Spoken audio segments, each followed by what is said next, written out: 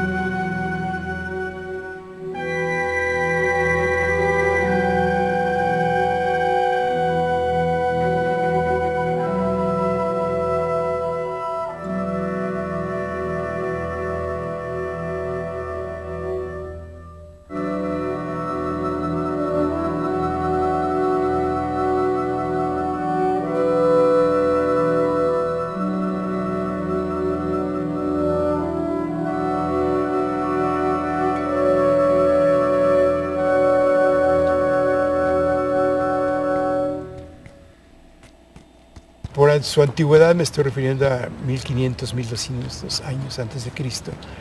que hace que la gente tenga una concepción del mundo y de la vida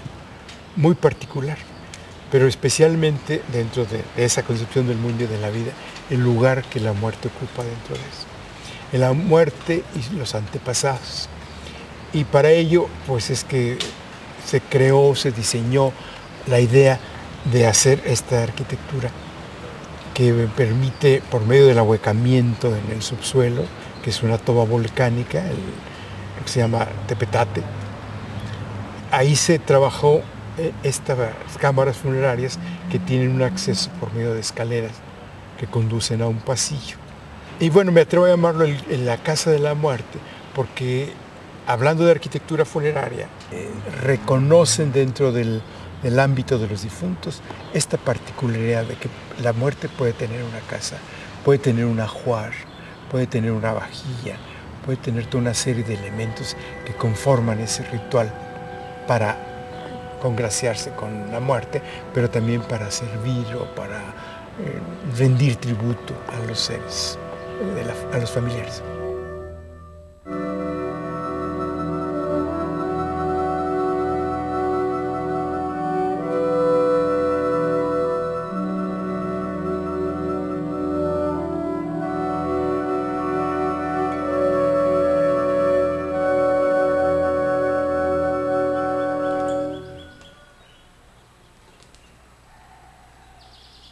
Haciendo todo el recorrido, gran parte de lo que es el, valle de Zamora y Jacona, las partes altas, uno de los lugares más importantes fue aquí precisamente el Cerro del Curutarán. ¿Y por qué lo decimos? Pues porque estamos parados sobre, eh, construcciones prehispánicas, eh, sobre grandes plataformas, sobre cimientos y sobre toda la cultura estamos aquí mismo, ¿no?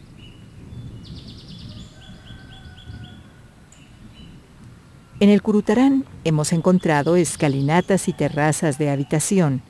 que nos permiten imaginar, como mera hipótesis, que pertenecieron a los grupos sociales que construyeron las tumbas de Lopeño, pero también a grupos sociales más recientes, como los tarascos o purépechas que aquí se asentaron.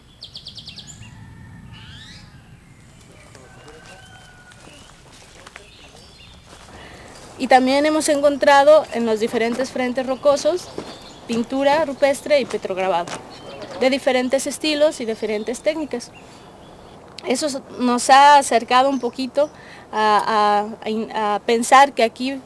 realmente pudo haber sido el lugar en el que, el que la gente que enterró a sus muertos vivió aquí.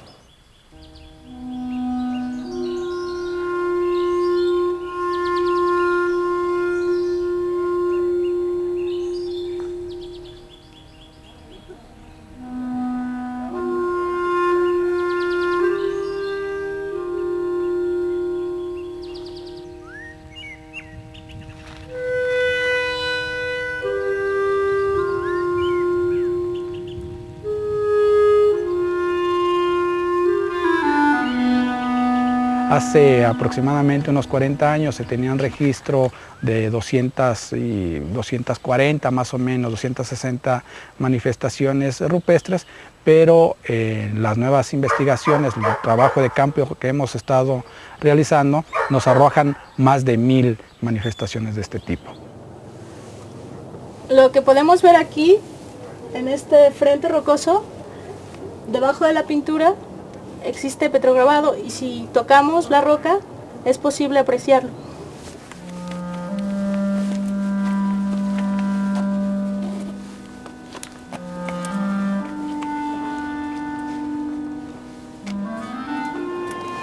Este es el muro que contiene los petrograbados, al igual que pintura rupestre. Aquí se combinan las técnicas debajo de todo este pintura que fue hecha en el 65 y debajo de ella están todos los petrograbados.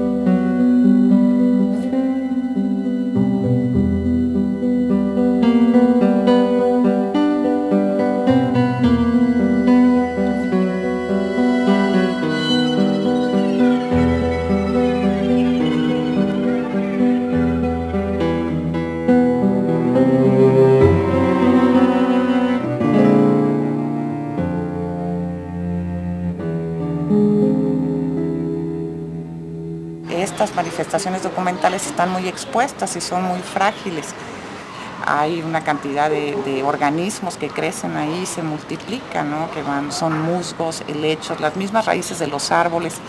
que por otra parte el proyecto quiere conservar, eh, se meten entre las rocas, eh, separan las piedras y causan la disgregación y el desprendimiento de, de los petrograbados. Entonces, pues es un problema complicado de resolver porque hay que eh, conciliar muchos intereses, los intereses de, la parte ecológica del proyecto con esta otra parte de rescate del patrimonio. El más grave de todos los problemas de deterioro es la acción humana. De 1969, que es eh, el primer registro documental que tenemos de estos petrograbados a la fecha, el deterioro que han sufrido es inmenso la gente sube, eh, grafitea las superficies, incluso está documentado eh, una explosión eh, con, pólvora en, la ladera del cerro que desprendió una gran cantidad de los, de petrograbados. Entonces, a pesar de que todo lo anterior es muy difícil de controlar los factores ambientales, el más grave es el humano y es por donde hay que tener más cuidado y hacer más trabajo porque mientras la gente no tenga conciencia del, valor de su propio patrimonio, pues estas cosas van a seguir sucediendo.